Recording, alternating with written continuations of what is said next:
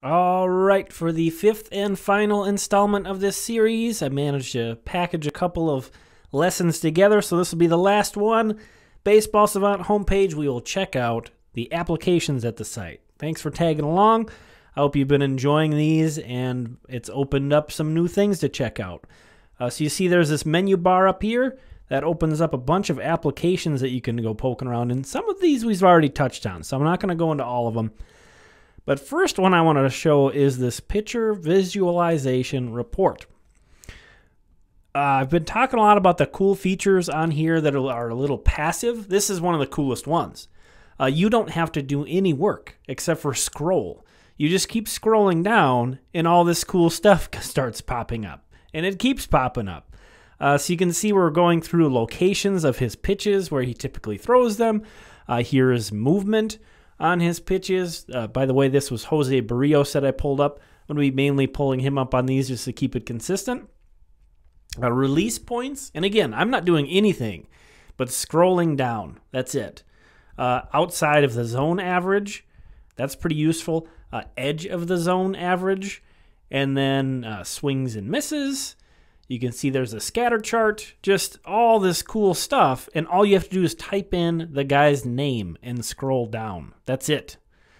Uh, this thing's cool, the little Plinko thing. Uh, it shows uh, where he goes to and which counts.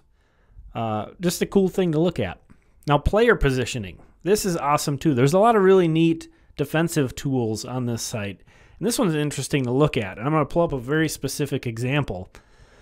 We're going to look at where center fielders have played in terms of depth this season. And if you look, the shortest, and this has something to do with outfields, but you can see there's a common theme of all these teams that play in. A lot of Houston Astros, a lot of Dodgers. Very interesting to see that. So there seems to be a philosophy on both those teams, a couple pretty smart teams, that they're going to play in. Just kind of a quick snapshot of the kind of thing you could look at with that tool. Now here's Pitcher Arsenal. Uh, this is a really quick hit thing, and again, we'll pull up Berrios just because he's we'll stay consistent. He's the guy we've been seeing.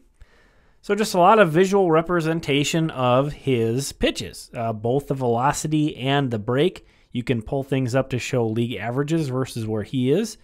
So that's a really helpful way to get an idea of what his stuff does versus the league average. Um, you can even shuffle through pitchers. So if you're just kind of bored and you want to look through and see if there's anything weird that pops up, you can just hit shuffle and guys will start coming up. Kind of a fun feature. Uh, that's a good way to get really uh, accustomed to that tool. Uh, what else? Oh, visuals. That's this is like a whole new, new menu in itself. Look at that. All these visuals in that uh, application spot. Uh, let's take a look at pitcher velocity distribution. Hmm, interesting. Okay, so we'll do Berrios again. Oh, yes, I know what this one is. So this is going year to year showing his velocity. And I'm going to pick somebody. We're going to pick Cody Allen, who just got released, because I know his velocity's dropped a ton. So this should be pretty cool. You can see it fade, fade, fade, fade, fade, and released. so that's pretty neat.